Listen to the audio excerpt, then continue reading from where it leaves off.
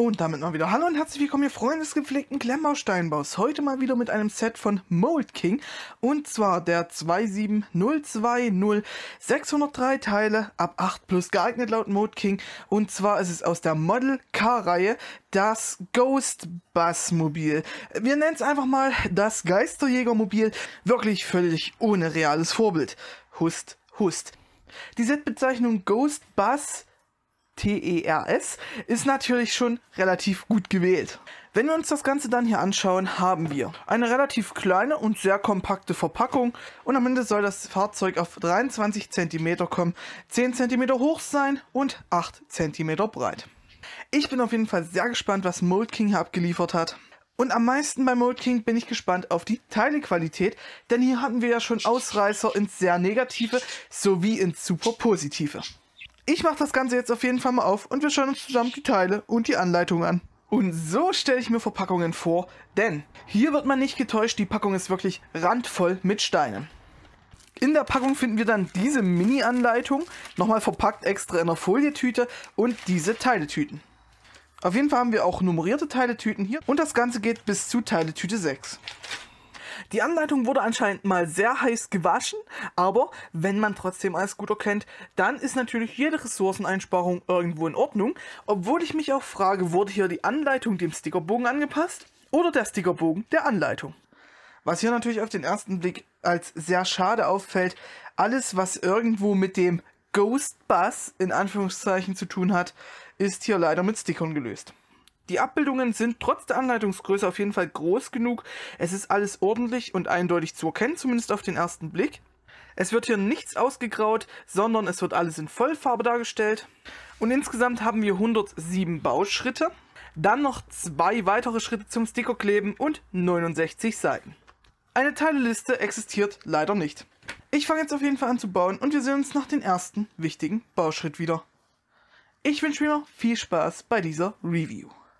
Und das erste Mal sehen wir uns jetzt nach 49 Bauschritten wieder.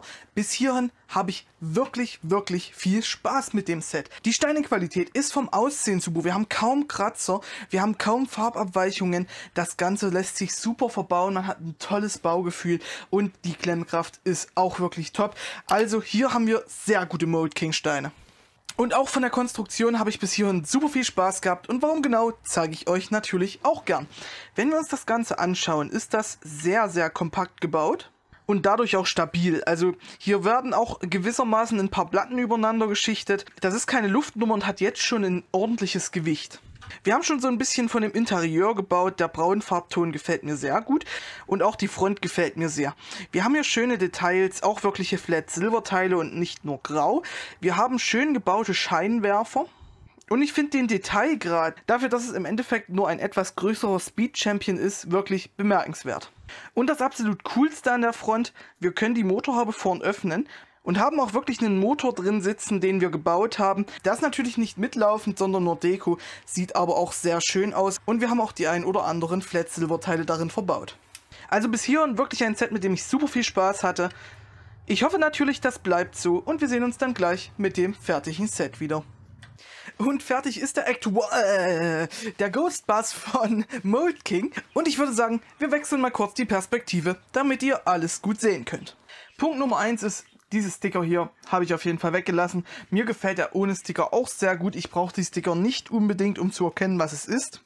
Und ganz ehrlich, wir müssen nicht drüber reden, dass diese Sticker einen ganz anderen Farbton haben als die Steine. Und das würde mir auf jeden Fall so nicht gefallen.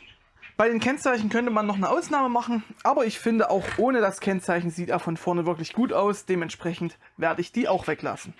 Vorweg muss ich schon mal sagen, ich habe das Set hier auf Amazon bestellt, habe da 25 Euro bezahlt und es ist damit auf jeden Fall kein Schnäppchen, denn trotz den 603 Teilen ist es eben nur ein Speed Champion mit mehr Deko.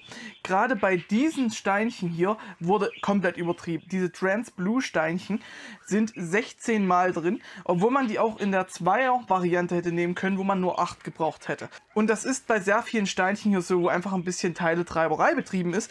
Effektiv haben wir hier vielleicht eine einen Teilewert von 500 Steinen, wenn man die Teiletreiberei rausrechnet. Und bei den 500 Steinen sind wir nur um die 150 mehr als bei einem anderen Speed Champion.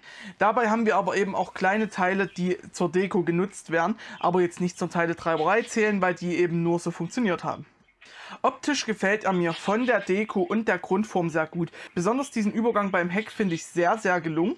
Aber er hat eben auch ein paar kleine Schwachstellen. Wir haben einmal diese offensichtlichen Undock-Punkte für die Klappfunktionen, genauso auch bei den Türen vorn. Aber bei der Motorhaube stört mich das überhaupt nicht, weil wir ja dann den coolen Motor drin sehen können. Wo es mich aber stört, sind diese Türen. Weil natürlich ist es schön, wenn wir Türen öffnen können bei solchen Sets. Aber ich zeige euch mal, wie das aussieht, wenn wir die Tür öffnen. Und das ist jetzt die geöffnete Tür. Denn die Scheiben sind hier oben fest zusammengebaut. Die öffnen sich nicht mit. Und natürlich ist es cool, dass wir Türen öffnen können. Aber so hätte ich es lieber gebaut und dann ohne diesen Spalt. Ähnlich verhält sich auch das Öffnen hinten von der Klappe. Denn da ist auch die Scheibe eben fest und nur diese ganz kleine Öffnung dabei. Aber hier finde ich stören zumindest die Undock-Punkte nicht. Und neben den kleinen Funktionen, die ich euch ja schon gezeigt habe, kann er natürlich auch fahren und rollen. Und er rollt wirklich gut, also hier habe ich nichts zu beanstanden. Generell finde ich auch die einzige Schwachstelle an der Konstruktion sind wirklich die Scheiben. Einmal wegen dem Problem mit dem Türen öffnen und auch weil das hier relativ wackelig zusammengesteckt ist. Wenn wir dann das Dach drauf bauen, hält es. Aber die Scheiben nerven während des Baus sehr, knicken auch hin und wieder mal ab. Und das ist wirklich der einzige Punkt, der mich hier an dem Set gestört hat, baumäßig. Die Teilequalität ist, wie schon im Zwischenbauschritt besprochen, super, super gut. Und auch die ganze Deko, die hier verbaut ist, finde ich wirklich sehr gelungen. Wenn hier natürlich noch die offizielle Lizenz drauf wäre und das Set vielleicht sogar noch pet-printed wäre, obwohl wir da wieder ein bisschen im Traumland sind und dafür die Sticker weggelassen wären, wäre das für mich nahezu, wenn wir die Fenster weglassen, ein perfektes Set. Und auch so hatte ich auf jeden Fall damit sehr, sehr viel Spaß. Für mich ist das auf jeden Fall für Fans des echten Vorbilds richtig, richtig cool, die sich von Lego eben keine 200 Euro Variante, natürlich mit mehr Stein und größer gebaut, leisten können. Aber hier bezahlt man eben 25 Euro und hat trotzdem was sehr, sehr Cooles daraus. Die perfekte Zielgruppe von dem Set sind halt wirklich Serienfans, die auch noch auf Speed Champions stehen. Dann habt ihr bei dem Set alles, was ihr braucht. Interessanterweise haben wir auch noch ein paar Ersatzteile. Und dazu gehören einfach diese Plates hier. Das ist relativ interessant. Ich habe extra nochmal nachgeschaut, ob ich die irgendwo vergessen habe. Aber nein, ich habe sie nirgendwo vergessen. Und vier solche Plates als Ersatzteile in schwarz in so einer tollen Qualität. Ich möchte mich auf jeden Fall nicht beschweren. Also von mir gibt es auf jeden Fall für das Set eine Kaufempfehlung, auch wenn es meiner Meinung nach durch die Sticker und den kleinen Fehler auch nur 20 Euro kosten könnte und die 25 Euro dann schon wieder etwas teurer werden. Aber auch 20 Euro sind für so ein Set auf jeden Fall drin, wenn man sich ein bisschen schlau macht auf den einschlägigen Seiten und auch mal auf einen kleinen Rabatt wartet. Und wenn ihr das Set dann so bekommt, dann werdet ihr auf jeden Fall mit dem Set genauso viel Spaß haben wie ich. Und wenn ihr dieses Set selber besitzt, schreibt gerne mal eure Meinung dazu in die Kommentare. Vielleicht habt ihr auch etwas ganz anderes als ich erlebt. Damit helft ihr der gesamten Community sehr weiter. Ich wünsche euch auf jeden Fall noch einen wunderschönen Tag. Haut rein. Euer Valley Brick.